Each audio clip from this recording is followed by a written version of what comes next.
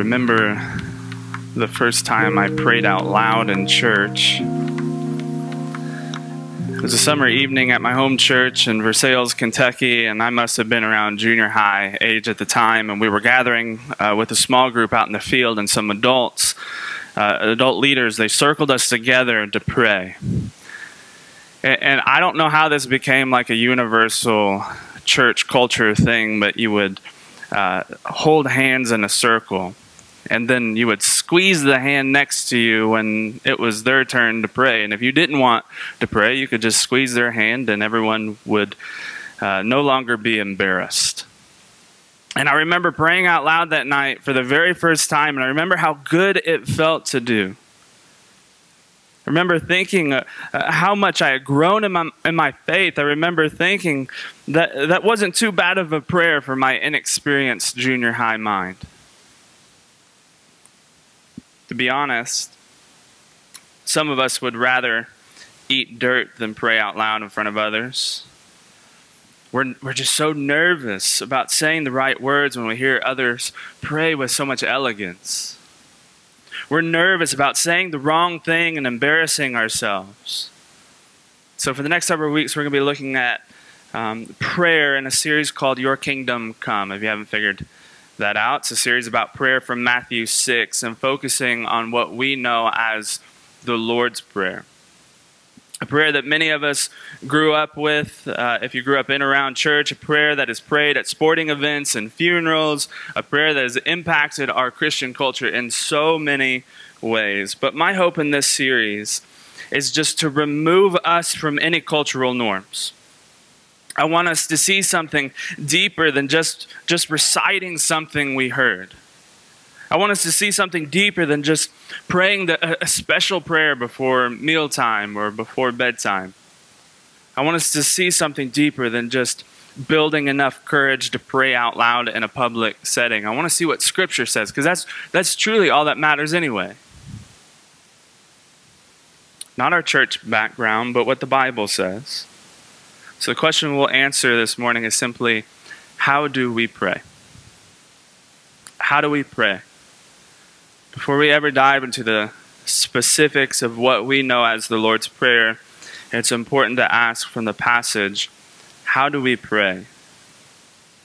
As followers of Christ, how do we pray in a way that's faithful to the Scriptures? So I'm going to be in Matthew chapter 6. If you have a Bible. If you have a digital Bible, I'll read out of the ESV. If you have notes, all of the main scripture, uh, and even a little lecture will be on the back there for you this morning. But it's probably fitting that we should pray before we start. So let's pray. So Jesus, he's been teaching all throughout Galilee. People, they've been they've been sick with diseases and demons and seizures and They've been healed by Christ. So fame, it's following Jesus from Galilee to Jerusalem to Judea and then beyond the Jordan. Large crowds are pressing in on Jesus, and he decides to remove himself to the mountain. And on this mountain, he sits his disciples down and begins to teach. And just a side note, some of the most influential ministry happens not in large crowds, but on quiet mountains. So do not be discouraged when it's just you and a small group of people listening to the word. We often hear God more clearly when he speaks in quiet moments, not sold out crowds. Influential ministry is taking place.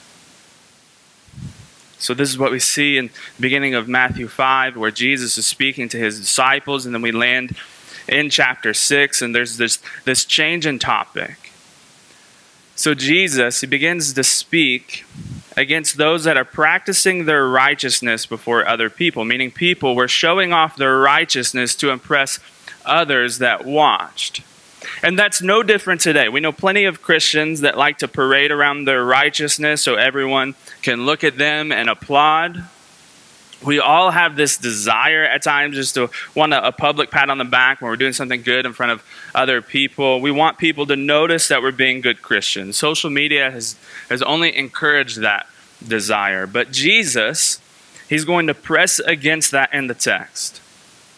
He's saying, look, look, if you if you want to practice righteousness, so you can get some public praise, then you'll have no reward from heaven. No reward. You already got your reward from your peers. You wanted earthly praise for righteous living, then you will forfeit heavenly praise from your Father. So he, he begins to speak specifically into three areas in chapter 6 that the Jewish people would have struggled with. First, the people were giving to the needy so that others would notice their generosity. Like how much I helped these poor people. Look at me financially blessing those that are in need. Look, look at me. So during this time, there, there, there's no social services, there's no food banks on the corner, there's no SNAP cards uh, for, the, for us to use at the grocery store. If you were in need, you were dependent upon your family or the financial blessings of individuals. And some people were flaunting their financial generosity so others would notice. So let me just say that East River Park has done a great job of not falling into that trap. I can think of several times when someone has told me, I want to help, but I don't want the recognition for it. And I love that. We have a generous church, and a generous church is a healthy church. Secondly, the people struggled with their prayer life, which is what this entire message is about, so we'll come back to that. And then lastly, the people struggled with fasting in verse 16 of chapter 6. And I won't go into the biblical details of that, but as the people were abstaining from food to focus on prayer, they would walk around with gloomy faces. Wanted everyone to know how hungry they were and how much of a sacrifice to the Lord they were making. So that is the context of this entire series. It's being careful of our motivation in practicing righteousness. So Jesus is trying to teach his disciples the way to live out righteousness before the Lord rather than man's praise. That is the reason he's teaching his disciples to pray in verse 5. How do we pray? With that context in mind, how do we pray? Look at verse 5 with me of chapter 6.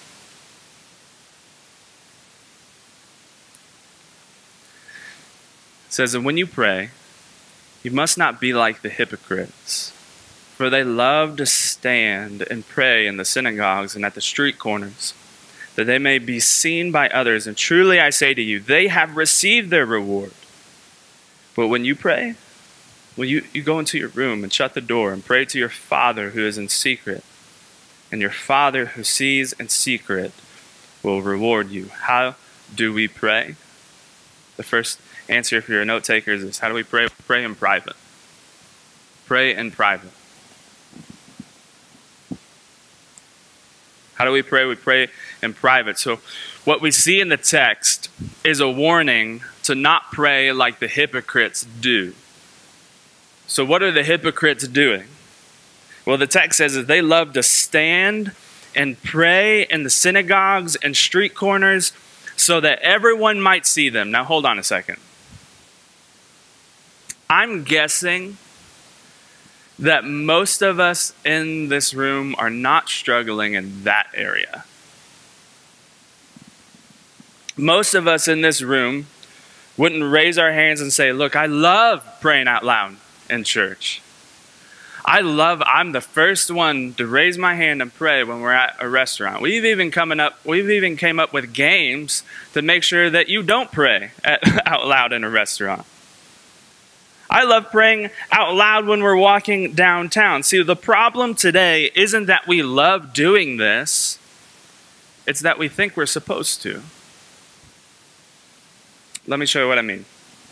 I spent over eight years in student ministry, and every fall we participated in this thing called See You at the Pole. I'm young enough to have participated when I was in high school. When I was in high school, we even had like a rally at night with all the local youth groups, and Kelenna Azubuike was a speaker. You don't know who he is, but he played for the greatest college sports team in the country, the Kentucky Wildcats, right, Gordon? Yeah, okay. I'm expecting some boos in the second service. Regardless, here's the agenda of See You at the Pole. One Wednesday, once a year, there's a student led prayer event that happens around the flagpole in front of the school before it starts. But my problem with this event is that it became some sort of courageous tool for evangelism. And I remember attending See You at the Pole thinking I was such a brave Christian to stand in front of my school. And I, re- I remember standing around the, the flagpole with just one eye open, praying, hoping that my troubled friend might see me as he walked into school and would ask me about Jesus. So, just to be transparent, for me, it became about showing off my Christianity rather than a public pleading before the Lord. It became an opportunity for me to show off my righteousness before my friends than a public prayer for those that I love. That's how easy it is to fall into this trap. I had righteous intentions that turned sour by public, selfish, righteous motives. Now, to clarify, it's not wrong to pray in public or that we shouldn't have See You at the Pole. We still were involved with it every year.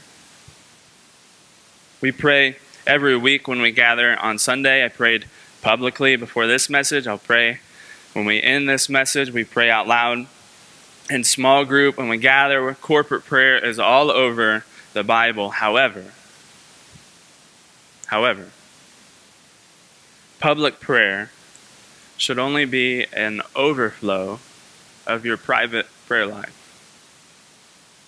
Meaning, there have been times in ministry where I've caught myself praying out loud in front of the church, and it's been probably the first time I've talked to God in a few days. What a dangerous and unhealthy place to be in. So, yes, public prayer is necessary, but public prayer is an overflow of our private prayer life. So, the goal is private prayer in public, if that makes sense. Let me give you some clarity what I mean by that. So, this is point one or a subheading in your notes. Private prayer exposes what we believe. Private prayer exposes what we believe. Possibly sometimes what we don't believe. Private prayer says that you really believe this all to be true, that you really believe in the gospel, that you really believe there is a God who hears you and responds to you. It is so easy to sit in church and close your eyes when I pray. It's a whole different game to get away by yourself and speak to the Father. That's the ultimate goal of prayer. Get alone with your heavenly Father and pour out your heart to Him. So, all throughout the Gospels, we see Jesus in deep prayer. When we see Him in deep prayer, He removes Himself from the chaos. So, look at same Gospel, Matthew 14 23, it says, And after He had dismissed the crowds, He went up on the mountain by Himself to pray. When the evening came, He was there alone. He went away from the crowds to pray. He was there alone. Let me ask you a real personal question. When's, when's the last time you got alone with God, away from the noise to pray with your Father? When was the last time? Was it recent? Was it a few years ago? Was it never? When we were adopting uh, the twins, there was a two week window where it was a, a, big question mark on the process. And um, I found myself in an emotional wreck. And every morning for those two weeks, I would sit on the back porch by myself and pray and just talk to God with all intensity of an honest heart. And it makes me think, why did it take a crisis in my life to move me to private prayer? Honestly, we we get alone with our Father when we have exhausted all our other options, but this is not the pattern that we see in the scriptures. Prayer is not a response to a crisis, it's also preparation for crisis that we will face. So Charles Spurgeon, he says, I know of no better thermometer to your spiritual temperature than this, the measure of the intensity of your prayer. So, if you want to grow in your faith, if you want to know the Father, if you want to be prepared for ministry moments with your family or your friends, get alone with your Father and pray. Pour out your thoughts to Him. Give Him your emotions. Ask Him for wisdom. Confess to Him your failings. And I'm not saying we need to go home and build a little prayer closet like War Room. And if you've not seen that movie, just forget I said that. Um, but what I am saying is that we should know a few places where we can be alone with our Heavenly Father in prayer, and then we should visit those places often. For me, it's my recliner before the kids wake up. It's the bedroom if the kids aren't being that loud. Or it's the sanctuary when no one else is here. Dwayne, one of our elders, he um, told us at our elder meeting on Thursday that he often comes to church at 7 a.m. on Sundays just to think and pray.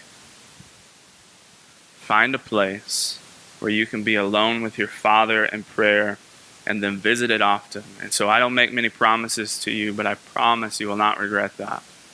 You will not get to the end of your life and think, I wish I spent a little less time in prayer. Private prayer exposes what we really believe, what our motives really are, what our heart really desires. How do we pray? We pray in private. Private prayer exposes what we believe, but look at verse 7. Verse 7 of chapter 6 says, um, And when you pray, do not heap up empty phrases as the Gentiles do, for they think that they will be heard for their many words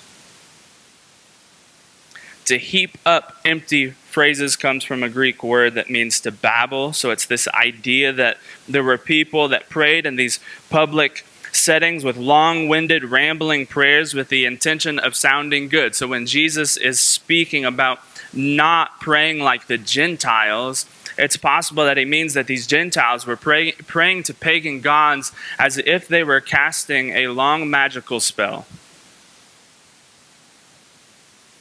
Several years ago, we went uh, to Honduras on a missions trip, and on Sunday night, we drove into the city to attend an English speaking church service that was mainly held for the missionaries in the region. And so there I am with my youth group, some adult leaders, and we're sitting back row because that's where I would sit if I wasn't the preacher. Um, and this guy gets up to pray, and I could tell, like, we're going to be in this for a long haul. And I don't remember what he was saying, but I do remember that it lasted for roughly 15 minutes. And I got to the point where my students, they're sitting in the row and they're trying not to laugh and they're like looking at me like I had anything to do with it or I could stop it. Now I realize that the length of the prayer was probably just a cultural thing, but the point is that long, elegant prayers are not the mark of a spiritual man or, or woman. People can be great with their words and have wicked hearts. The goal is not long, pretty public prayers. The goal is purposeful prayer. Praying with purpose filled honest, honesty. How do we pray? Secondly, if you're a note taker, here it is. How do we pray? We pray on purpose on purpose. How do we pray? We pray on purpose. And I've heard this over and over in the church world. Ooh, that person has such powerful prayers. Why do we say that? Why do we say things like that? We usually say that because that person is a great public speaker and that carries over to their prayer life. But Powerful prayers are not powerful because they involve pretty words. Powerful prayers are powerful because we have an awesome God. So, again, clarity here in the text and in your notes. Purposeful prayer exposes what we value. Purposeful, purposeful prayer exposes what we value. So if you look at verse 7 again, it says, For they, they think that they will be heard for their many words. Did you catch what Jesus said? The people valued being heard by other people in their prayers rather than the value of, of, their heavenly Father hearing their prayers. It's the epitome of living out righteousness for the attention of others rather than the praise of God. So, purposeful prayer are prayers that value what God values over what people think, even us. We pray with God's promises and purpose in mind, not our own. Why? I've quoted this verse a lot the past few months. This is Romans 8:28. It says, "And we know that for those who love God, all things work together for good." for those who are called according to his purpose. God's purpose is to take all things and work them together for good. All things. All of it. All things. Doesn't mean all things feel good but all things are working together for good to those called according to his purpose. Meaning, look, I, I might value a lot of things in my life, my health, my kids, my job, my future, but I value God's purpose more than anything else. So a purposeful prayer is a prayer that he would finish what he started. Philippians 1 6, and I'm sure of this, that he who began a good work in you will bring it to completion at the day of Jesus Christ. We pray sure of this.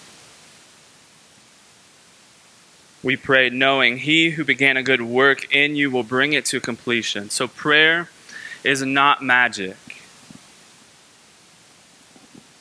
Public prayers don't cast a spell on our situation.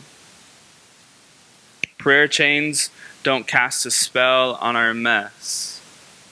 Long, elegant prayers don't cast a spell on our lives.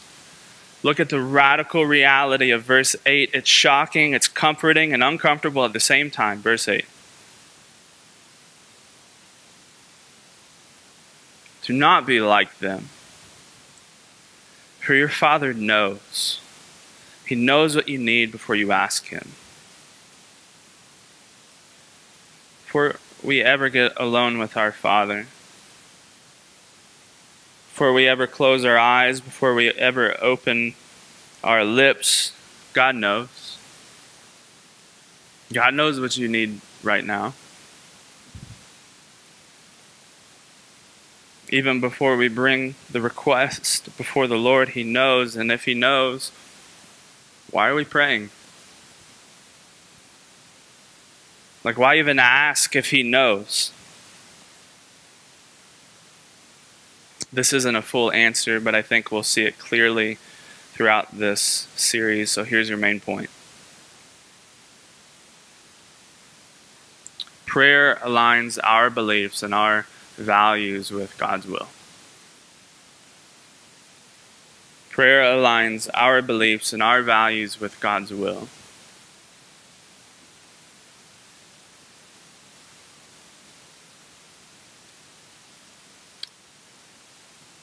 As many of you know, we've been praying for weeks for the Johnson family.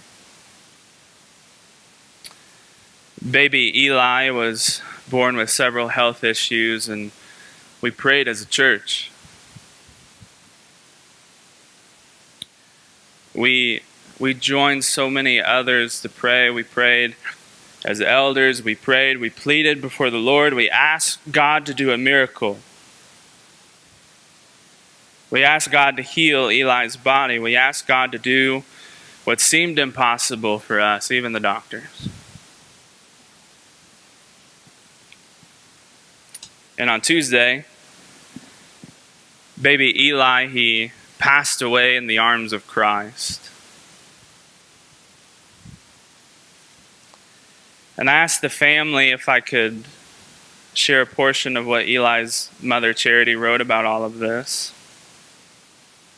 It was strong, it was brave, it was the heart of a mother that loves her baby boy but loves Christ infinitely more. She wrote,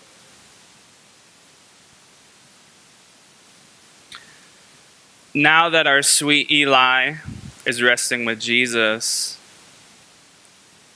I know it makes even myself wonder why God didn't heal him. Everything about this is impossible. But there is one person who makes it bearable, and that's God. He fulfilled his will in Eli.